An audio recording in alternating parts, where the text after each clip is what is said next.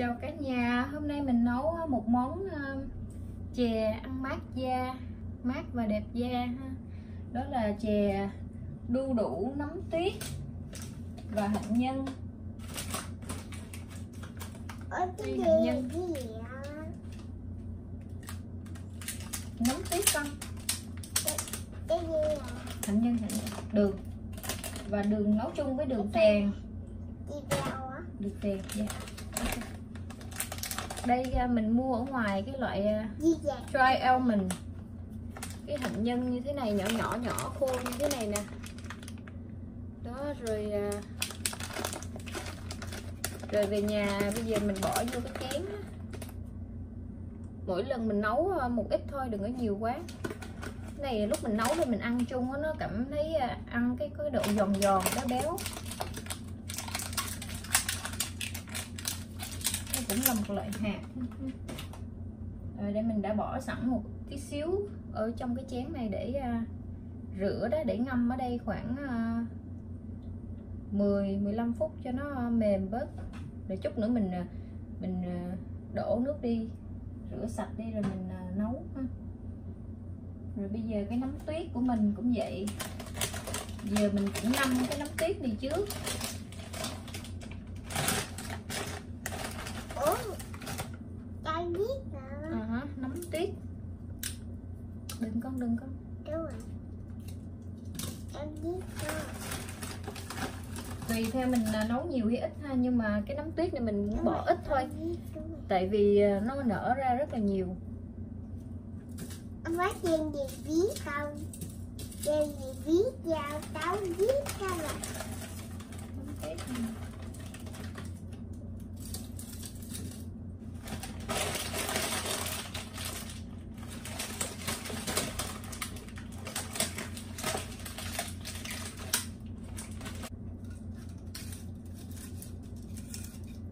Cho nước vào đây. Ngâm cái nấm của mình cho nó nở ra.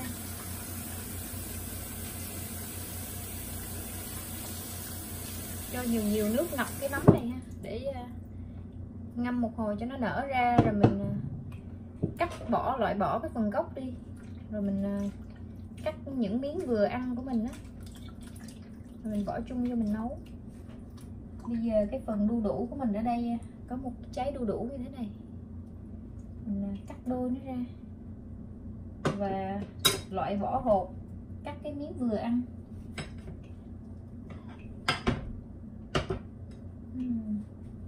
rất là nhiều hộp Ba, cái gì đây?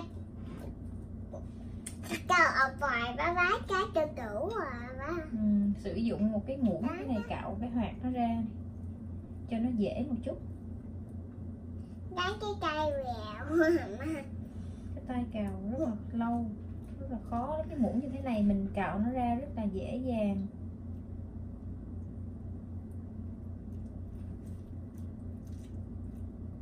Đó, rất là dễ lấy hột ra kiểu này.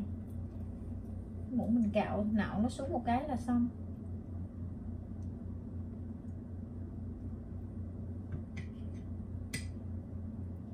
Như thế này đó. Có những cái gân ở trong đây thì mình à, cần loại bỏ thì mình loại bỏ luôn.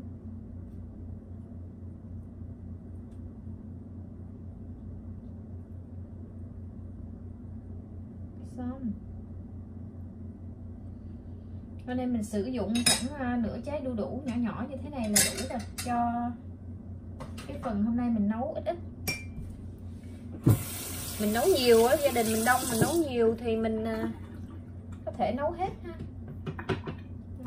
xíu hạt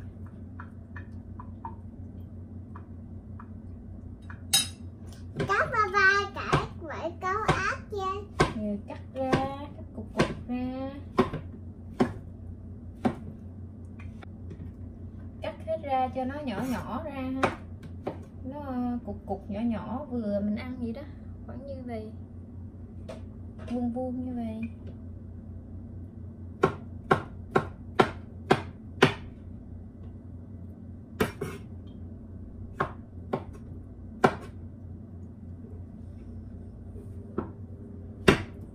đủ này ăn rất là mát. Rồi nấm tuyết nữa. Nấm tiết nấm tiết thì giúp cho da của mình ăn tốt cho da.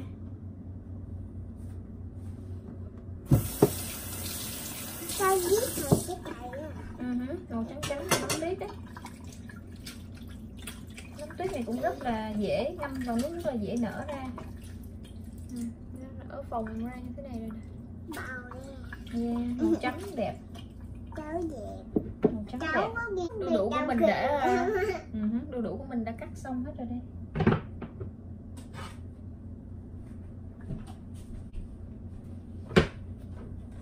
Rồi bây giờ trước tiên mình à, bắt cái nồi nước lên đây mình nấu cái cái hạt hạnh nhân của mình trước tại vì cái hạt này à, rất là cứng.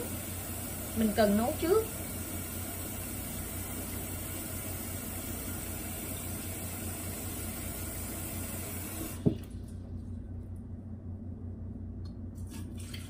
mình cho vào đây hơn nữa. Nồi nước nồi nhỏ nhỏ như thế này. Nhà mình ăn ít thì mình à, ít người đó thì mình nấu ít ít như vậy thôi. Ngày nào hết ngày đó. Về cày nữa có papa đi đi chạy áp luôn à, rửa cái hạt hạnh nhân của mình. Đi về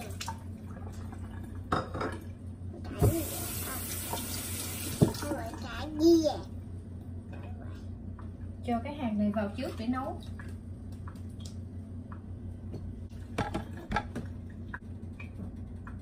mở lửa lớn ha nấu cái này à, của mình trong vòng à, 10 phút dặn đồng hồ sẵn 10 phút Rồi. để nắp lại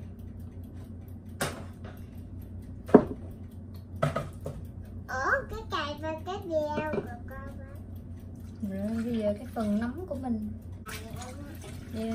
thì mình uh, rửa cái phần nấm tuyết của mình ra rồi để mình uh, loại bỏ đi cái phần gốc của nó chết cả ừ được rồi con để nó rửa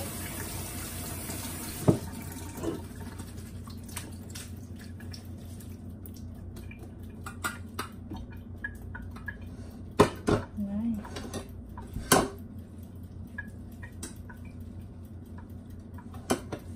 Nở ra rất là đẹp cái màu rất là đẹp. Nha thích lắm tuyết này nó cái màu đẹp này cái nào có cái gốc có phần gốc thì mình cắt vỏ đi. Loại bỏ cái phần gốc đi. Mình cắt ra miếng vừa ăn.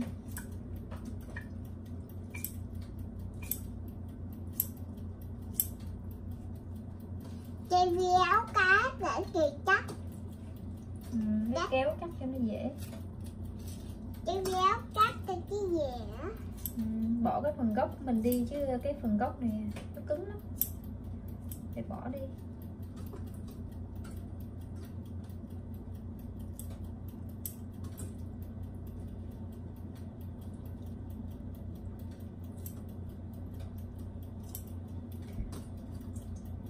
Trước kia mình ăn món chè này được ờ, một người ờ, cô nấu cho ăn đó nấu nấm tuyết với sữa tươi và chân trâu cũng rất là ngon. Mà hôm nay mình không nấu món đó mình nấu với à, đu đủ và đường phèn và hạt hạnh nhân. Vừa mát mà lại vừa ngon vừa giúp cho da mình nữa vừa đẹp da nữa. Ba bốn công dụng như vậy. Đẹp yeah. Xong rồi giờ mình chỉ à, để đây thôi. Nấm tuyết của mình nó rất là mau chín. Mình mà bỏ vô thời gian lâu quá thì nó sẽ, cái nấm mình nó sẽ nở ra rất là nhanh và nó sẽ có cái độ sệt lại giống như keo như vậy. Thì nó sẽ không có ngon. Nấm tuyết của mình nên bỏ sau cùng để nó còn cái độ à, vừa vừa tới cái độ ngon của nó và còn cái độ hơi giòn giòn một chút.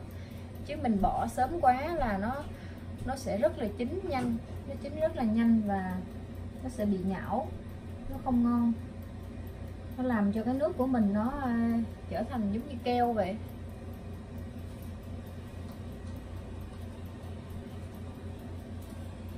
Rồi, cái nồi nước cũng chuẩn bị sắp sôi rồi. Ở đây mình đợi cho sôi.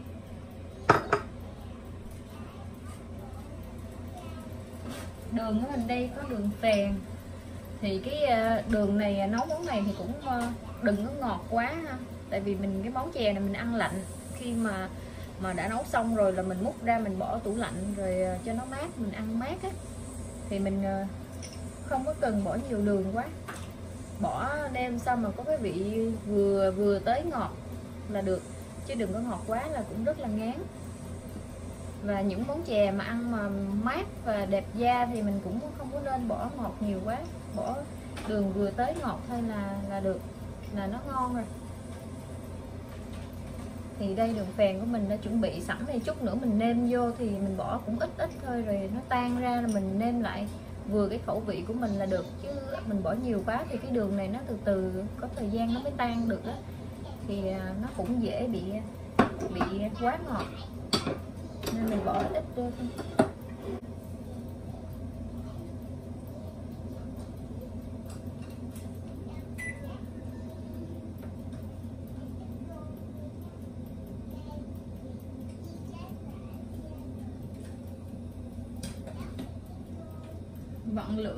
Giờ ha. Cho nó từ từ nấu cái hạnh nhân của mình thêm một chút nữa. Điện thoại con đâu thích đi à.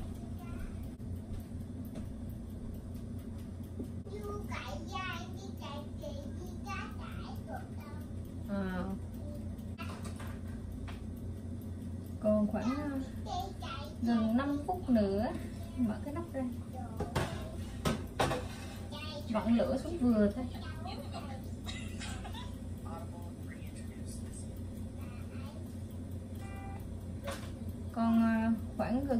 5 phút nữa.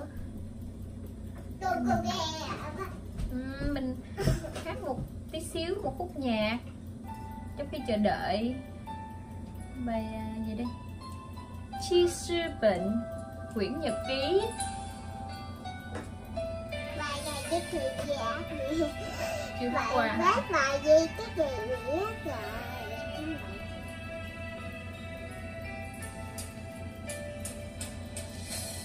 放开细世碎碎的记事本，写全是多事，多我为你，你讨厌被凌乱，喜欢你粗怕，寂寞在召唤。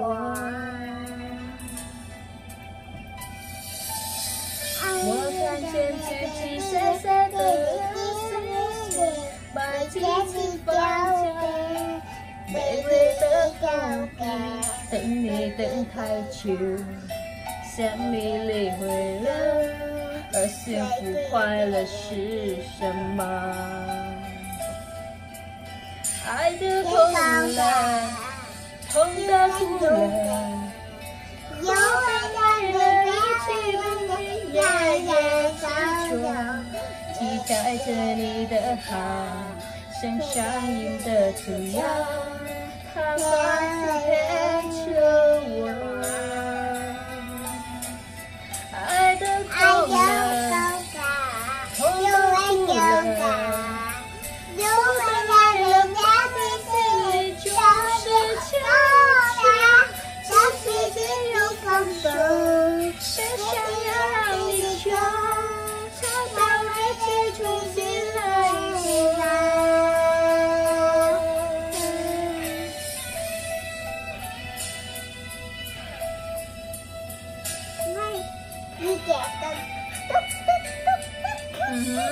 我看见自己谁深深的。的心谁事，把自己放下，玫瑰的告白。等你等太久，想你理会了，而幸福快乐是什么？爱的痛了，痛的哭了，哭的期待着你的他，身上印的主样，他放弃拯救我。爱的勇敢，就会勇敢，就会让你的人生，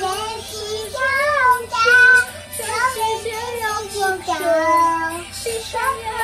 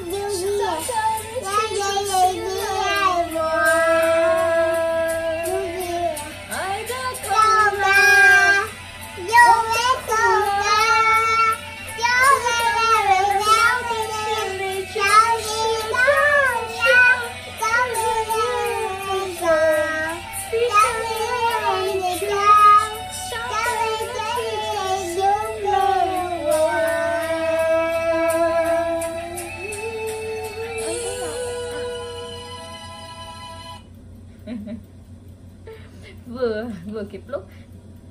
Cái Tiffany còn hả hăng hái hát hơn má má nữa đúng không? Hát còn, còn, còn lớn tiếng hơn má má nữa.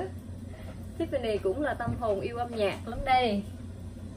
Bây giờ sau khi nấu nãy giờ 10 phút nãy giờ đã sôi rồi thì bây giờ mình à, cho cái đường phèn của mình vào đây.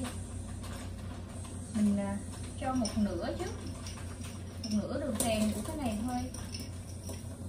Sau đó rồi để đường tan ra rồi mình mới à, nêm lại vừa ăn chưa? Tại vì cái đu đủ và cái nấm tuyết của mình cũng rất là nhanh chín. Và cái đường này thì cần phải có thời gian để nó tan. Mình mà chút nữa mình bỏ sau thì mình để cái đường này nó tan ra hết rồi mình nêm lại rồi là đu đủ với lại à, nấm tuyết của mình nó sẽ bị chín quá không ngon. Cho nên bây giờ mình muốn à, cho cái đường mình nó tan ra trước. Nó vừa ăn trước rồi sau đó mình mới bỏ đu đủ và nấm tuyết vô nấu sau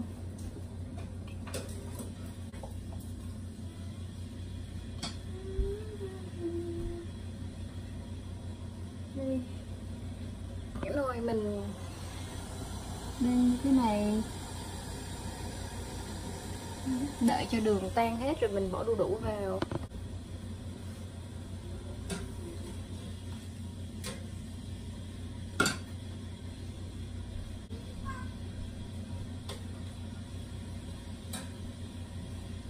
Thử cái nước mình coi được chưa?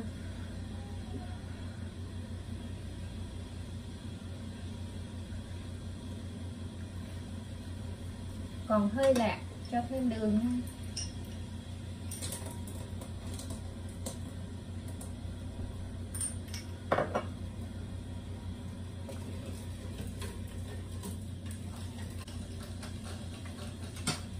trời mùa hè nóng bức, mà có một cái chén chè nấm tuyết, đu đủ nấm tuyết như thế này, và hạnh nhân bỏ trong tủ lạnh mát mát đem ra ăn thì còn gì bằng nữa, rất là ngon.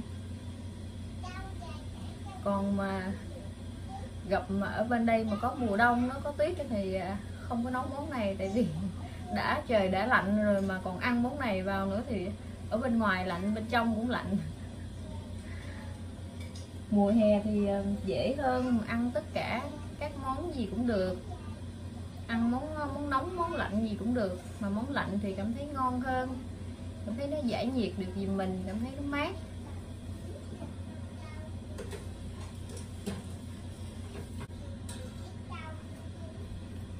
Thử lại cái nước đây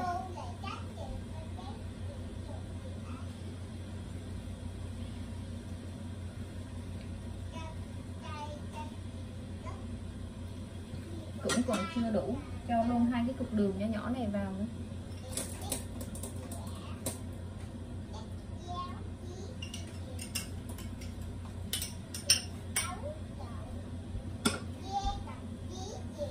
Vậy là nấu cái nồi à, nửa nồi nước nhỏ nhỏ như thế này thì à, đường phèn khoảng một chén một chén ngang đây nhỏ nhỏ như vậy là được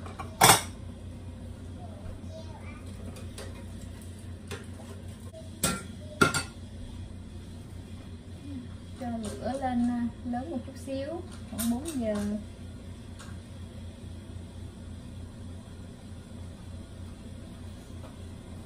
Rồi bây giờ cho đu đủ của mình vào được rồi đó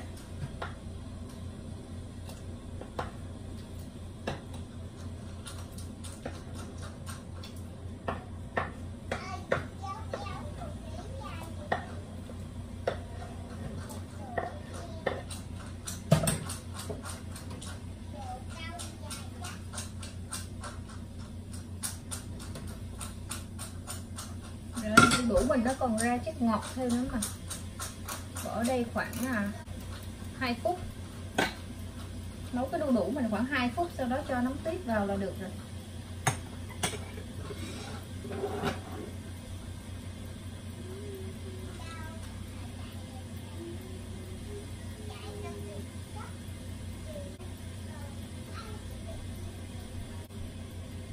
Lấy sẵn ở đây một cái tô để chút nữa.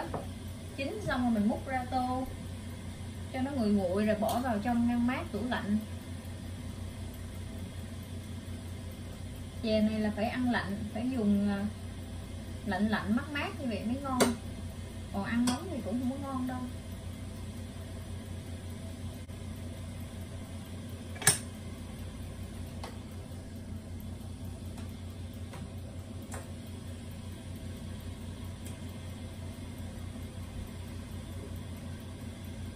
Giờ cái nước mình có đu đủ vô thơm mùi đu đủ. Ừ, rất là ngon. Có cái mùi đu đủ vào là khác nữa. Và sau khi mình bỏ thêm một chút xíu đường nữa là bây giờ cái vị của mình vừa ăn ngon luôn. Và cái mùi đu đủ ra thơm thơm nhẹ một chút. Rồi có cái mùi nhẹ nhẹ từ cái hạt hạnh nhân nữa. Mình bất cứ mình nấu cái món ăn gì cũng vậy mà mình muốn cái món ăn của mình ngon mình phải bỏ cái tâm huyết của mình vào trong đó. Thời gian tâm huyết rồi phải uh, kỹ càng mấy cái chi tiết chi ly nữa. Mình phải uh, vô bếp mình nấu thì mình mới có kinh nghiệm được.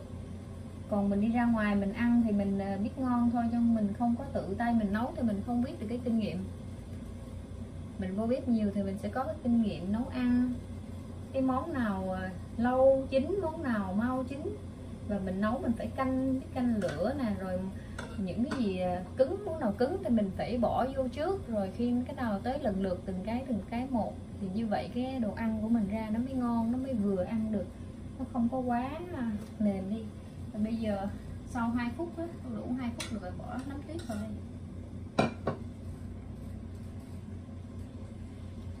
Tuyết này rất là nhanh. Mình nấu trong vòng một phút thôi là được rồi.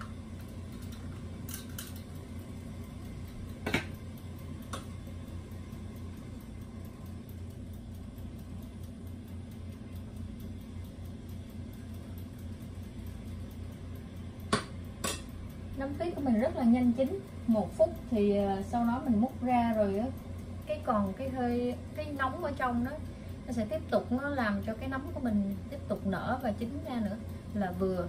Còn mình để trên bếp lâu quá thì à, cái nấm tuyết mình nó dễ bị nhừ ra luôn, thành giống như keo vậy, ăn rất là ngán. Và không có ngon đâu nấu cái món à, món chè nấm tuyết này có có một hôm à, không có ở nhà đó, đi ra ngoài một chút xíu thì nghĩ là bỏ vô cái nồi slow cook á, để nấu xong khi mình về nhà là có là sẽ có ăn. Cho nên bỏ vô bắt vô cái nồi slow cook bỏ nấm tiết bỏ tất cả vô xong rồi mình bắt bắt bếp lên bắt bắt cái nồi lên nấu như vậy và đi ra ngoài thì sau khi à, bốn năm tiếng sau trở về thì cái nồi của mình nhắc xuống nó quá nhiều ra hết rồi. Tất cả ăn rất là ngán cái nấm tuyết của mình nó giống như keo vậy. Nó đặc lại luôn ăn như vậy không có không có ngon.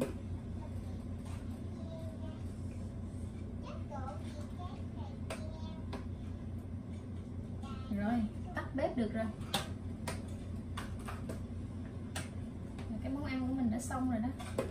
Bây giờ mình múc ra tô.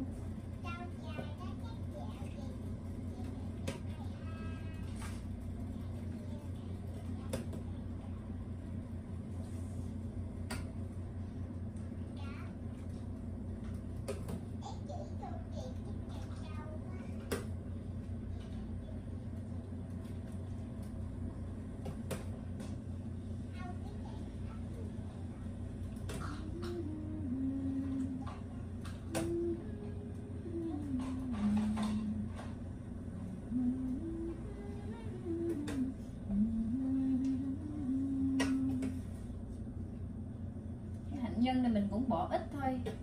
Nó vừa có độ thơm và mình lâu lâu mình ăn trúng một cái hạt của nó giòn giòn bé béo là đủ. Nhiều quá nó cũng ờ, án mất đi cái mùi cái mùi đu đủ nè rồi mùi nấm tuyết của mình